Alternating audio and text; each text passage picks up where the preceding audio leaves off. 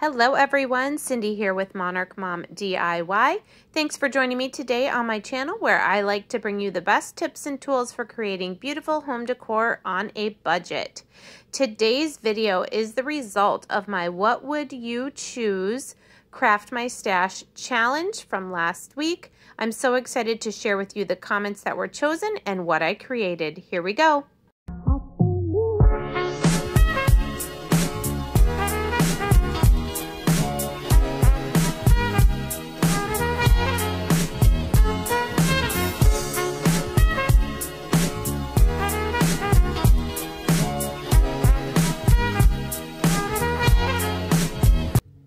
Congratulations, Linda French. I chose your comment where you suggested I use the butterfly bag, tall signs, round wood blocks, buckets, and small black kettles. I chose four of those five items. You can see them here. And I am so excited with what I created using these. The first thing I'm doing with the tall Easter sign is removing the hanger and the strange googly eyes and the raffia bow and the feet we're going to cut this long sign into two pieces the same length and then put them side by side to create a shorter, wider sign. So here I'm just measuring to find the center and then we'll draw a line down the middle and use our uh, box cutter or utility knife from Dollar Tree to cut this sign in half. And here's our two pieces that we come up with.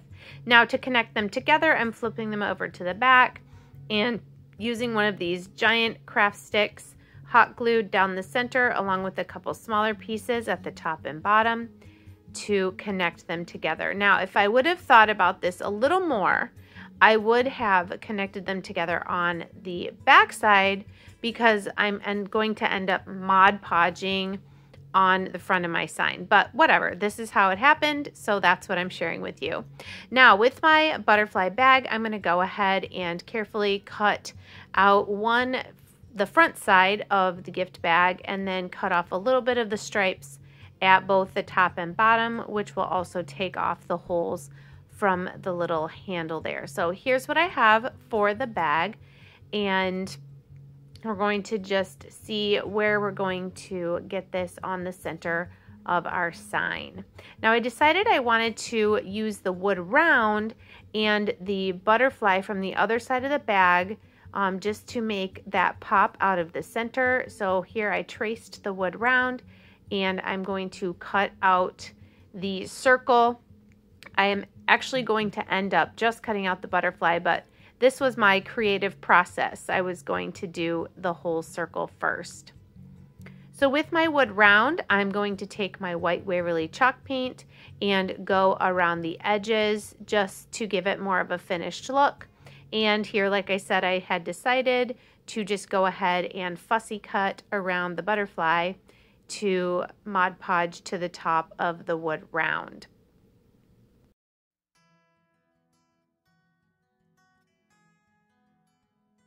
So now coming back to the sign, I'm going to put a layer of Mod Podge over this and then we're going to glue the bag right down there, lining it up as best we can on the edges. And then we will have a little bit um, left over that's hanging over that. Once it's dry, we'll go ahead and trim that off with our craft knife. Coming back to the wood round now um, to add a little pop of color. And the reason I decided decided just to fussy cut around the butterfly is I wanted to add the maize or the yellow chalk paint to the top of the circle, um, sand the edges a little bit, and then just add some Mod Podge and stick this down in the center of our wood round. Once that's down, we'll also add a layer of Mod Podge to the top to make sure that it stays down. And here coming back to the sign, like I said, we're trimming off any excess pieces of the gift bag to have a nice crisp edge all the way around our sign.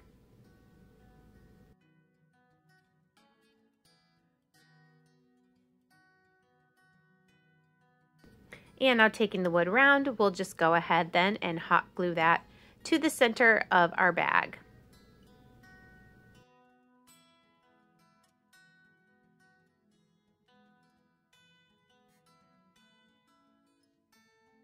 Next, to add some more dimension to the top of our sign, I'm taking some jute twine from Dollar Tree, attaching it with some hot glue at the back, and I'm just going to wrap this three times around the top of my sign and then trim it and add some hot glue again.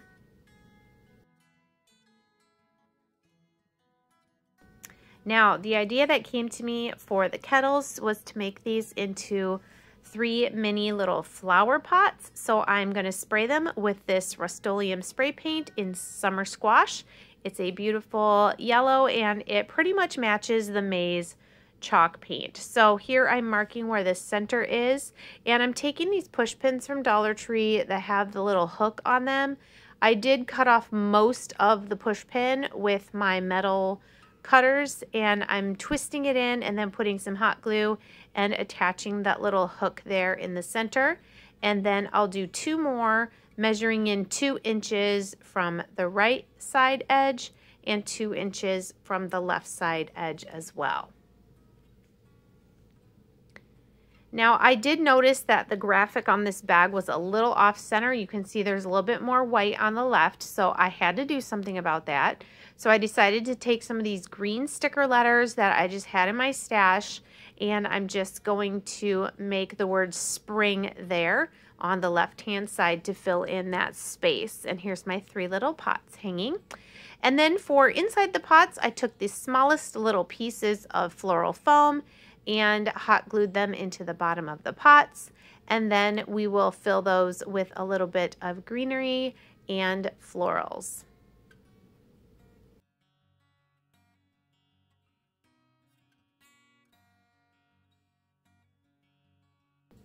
If you're new to my channel today, I sure hope you'll consider sticking around by hitting that subscribe button. I love to share with you budget home decor DIYs and do fun things like this video where I challenge my viewers to help me craft my stash. Here I'm just adding a wire jute twine to the back for a hanger and then we're going to hang our three little flower pots at the bottom of our sign and this first Craft My Stash DIY is complete. I would love to know what you guys think of this project using those four items that I was challenged with. What would you have done different using the tall Easter sign, the black pots, the wood round, and the butterfly gift bag? Congratulations, Madeline Sumner. You are my next comment that was randomly chosen. You challenged me with the floating glass frame, the microfiber mop head, and the calendars. So I'm going to use these three items in this next project. I'm actually using three of the frames, this other calendar that I shared, the microfiber mop head, and a thick wooden dowel. You could also use the handle from a toilet bowl plunger from Dollar Tree. So the first thing I'm doing is removing all the glass from these frames and the backing. And instead of staying with the solid black, I'm just dry brushing some white just to lighten up these black plastic frames for spring. Then coming to my calendar, this was from 2019, really bright, vibrant florals. I'm looking for three different ones that I'm going to be able to cut a four inch by four inch square without getting any wording. So that's what I'm doing here. And I found more than three, but these are the three that I decided to use that had slightly different background colors. So then with my Fiskars trimmer, I'm just going to, in one corner of each of these pages, cut a four inch by four inch piece of the floral image.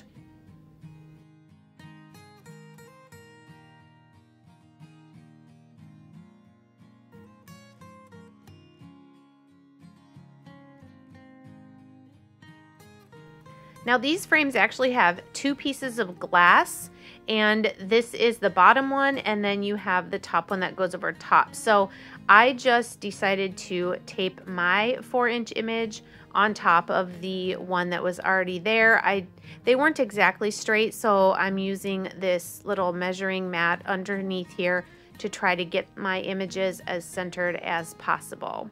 So once I had all three of those taped in, I'm going to come back to my frames and I wanted to just do a light layer of Mod Podge just so the paint wouldn't chip off too easily from these frames. It's just an added step that I wanted to do just to um, help with the longevity of my project. Then when those are dry, I'm popping my glass and my backings back into the frames and we'll be ready to finish up this project. Now coming to the wooden dowel, I'm going to just take my black chalk paint and I'm just sponge painting, just brushing it on lightly with the foam brush and making our uh, dowel black to match our project. So with the microfiber mop head, I decided to make a triple strand of it and I'm going to tie a knot on each end of the black dowel. We're going to use the mop head as the hanging mechanism for this picture frame project that we're making.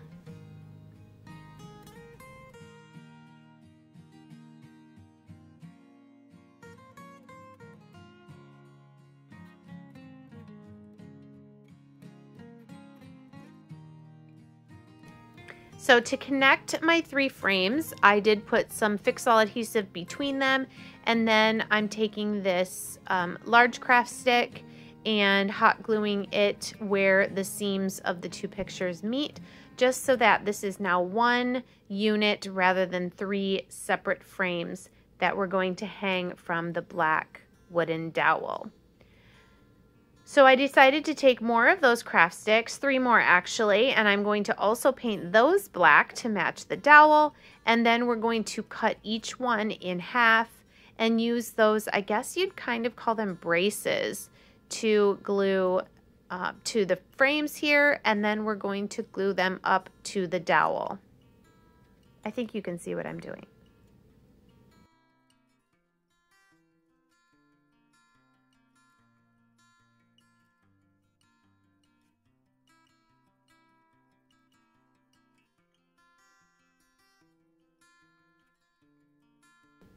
And here it is with our floating frames, our calendar images, and our mop head using um, it as the hanger. Now, if you didn't want those craft stick pieces, you could just glue that dowel right to the top of the frames and have it a little bit smaller.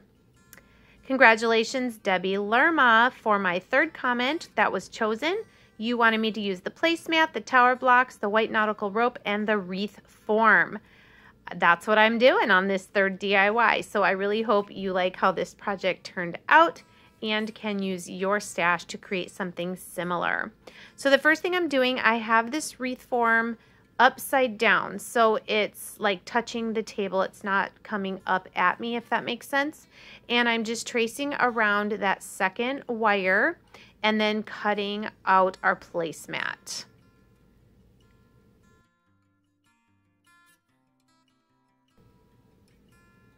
Next, I'm taking 48 of our tumbling tower blocks and I'm going to stain these with our Waverly Antique Wax. You guys know I love this stuff. It doesn't smell stinky like all the other stains, but does a fabulous job and washes off your hands really easily. Now I did spray paint my wreath form white just so it would blend in better. And I decided I needed a white foam board to make the back of my project a little more sturdy. So I traced around that same circle of the wreath form that I did for the placemat and cut that out with my craft knife. Now I'm taking some of the Dollar Tree wood glue. It's basically tacky glue and I'm gluing my placemat circle now to my foam board circle. You can see there's a couple little gaps at the top and the bottom, but that's not gonna matter because you're not gonna see that. Now taking my hot glue, I'm going to go around the very edge of my placemat image, and then we're going to set the wire wreath form down there, right? That same circle that we traced around is now glued to our placemat. Then I figured out that I could fit eight of these tumbling tower blocks in each of these six sections of the wreath form. So here I'm gluing, kind of balancing each block on the first or the innermost out to that third circle of the wreath form. I think you can see there what I did. So I glued those all the way around. And then with that last outer loop of the wreath form, I'm going to take the nautical rope and run a bead of hot glue there and then use the nautical rope to fill in that space between the outside of the wreath form and the tumbling tower blocks. I was so happy with how this project, I've liked all of the projects so far from this uh, Craft My Stash challenge. Um, but I really loved how this one came together. It's got a little bit of a nautical feel with the rope. Um, I love the dark stain of the tumbling tower blocks and just love how cute and farmhouse this looks. You can see I also took the nautical rope around the center of the circle as well.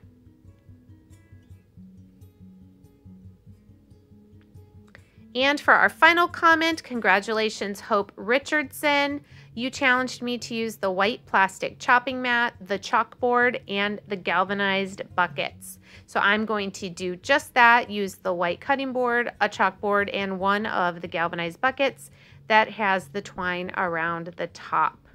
Now my idea for this was a cute farmhouse chalkboard um, planter that could hang on the wall. So I wanted to make this white plastic cutting board look like wood. So I'm using that hazelnut colored Waverly chalk paint and then I'm going to dry brush the truffle over the top again to make it look like some wood grain.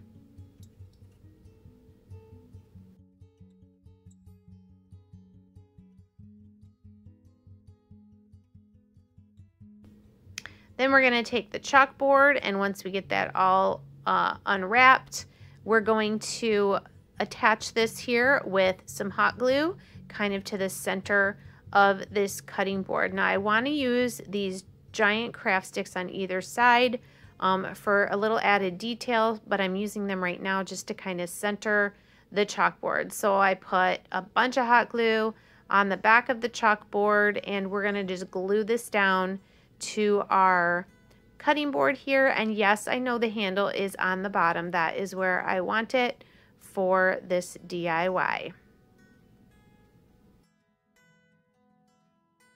Next, taking two of these giant craft sticks, I had cut them in halves, so I have four halves.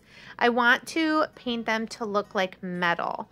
Um, there was something in a project I saw a while back where they had a chalk a wood chalkboard frame that had like metal brackets on it. So that's what I'm trying to recreate here with elephant chalk paint and also silver lining, just kind of blending those two grays together and uh, making this look like some galvanized metal.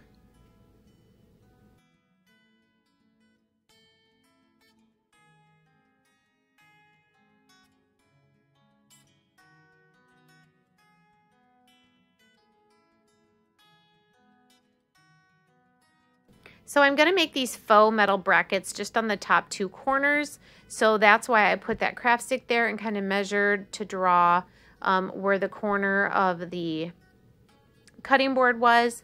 And then I'm going to hot glue that on. I believe I measured in three inches from the corner um, is where that straight edge of the craft stick is. And now I'm going to do the same thing on the right hand side.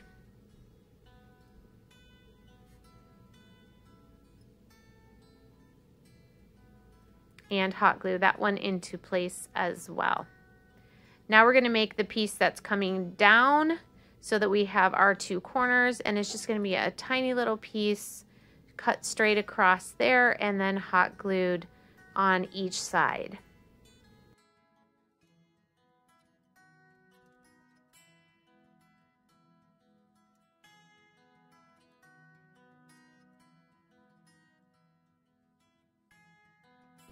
Now to make little rivets on our metal, I'm using these um, adhesive dots from Dollar Tree. These are kind of a large size, um, but I'm just hot gluing three on each corner.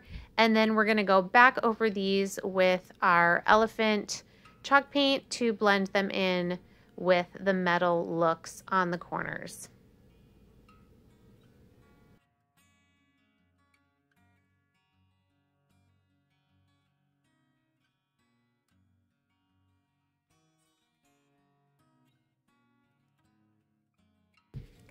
Now moving on to our third item, the metal bucket. I'm taking my Crop-A-Dile Big Bite Chomper and I'm able to punch a hole there in the metal bucket. I'm doing two holes to kind of line up with where that handle is and I'm going to run some jute twine through the bucket and then around the little handle of the cutting board and I run it through the bucket two times and then tie it in a knot and there we have our hanging planter.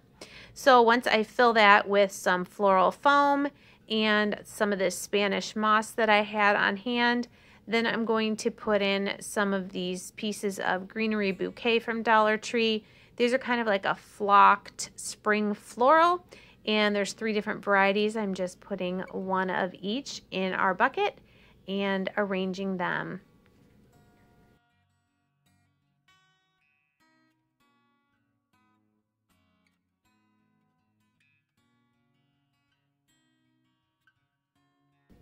And lastly, using one of these little chalk writers from Dollar Tree, I'm just making some squiggles on our chalkboard and writing Hello Spring. Of course, you can write whatever you want and change out the florals for this season as well. All right, so here's our fourth DIY from my Craft My Stash challenge. I just love how this turned out. Looks like a wood frame with the little metal, metal brackets on the top and the bottom.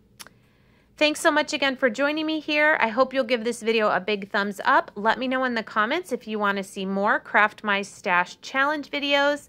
And also let me know which of these four DIYs was your favorite.